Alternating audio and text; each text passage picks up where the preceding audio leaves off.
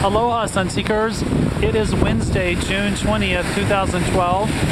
Kind of a cloudy, overcast day in Kihei this afternoon, but uh, beautiful all the same. And the waves are going a little crazy on me. Wow, look at this. This just simply doesn't happen on the South Shore for these kind of waves. I'm right in front of the hotel, so the hotel's right there. But look at the waves, how fast they're coming in. Lots of white water popping out there, and lots of wind as well.